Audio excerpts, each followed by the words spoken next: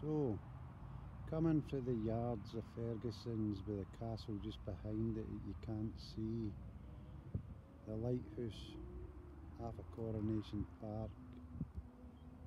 As you go up to Clyde, there's the Erskine Bridge, which takes you over to the Trossachs and the parks and stuff. The Highlands, Gateway to the Highlands it's called. But this is this is a, a Clyde now. Now tide is going out, it's not right out as you can see with the the seaweed and the rocks and stuff. But when you sit here and, the, and it's high water, the, the water's right in, it's really beautiful, you know.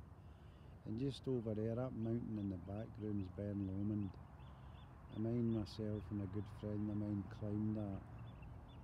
Four seasons in one day, nearly got blew off a tap on what I name Devil's Bend, right? It's a bend that if the wind picked up bad enough it could lift you right off your feet and toss you, you know. Kind of frightening but a good buzz.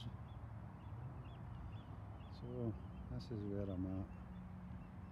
This is the last video on the playlist. I don't know what I'm going to title the playlist. I hope you enjoyed it. Subscribe if you want for more. I'm going to be going to different places, maybe taking ferry trips and stuff, weather permitting over the next couple of weeks. Thank you.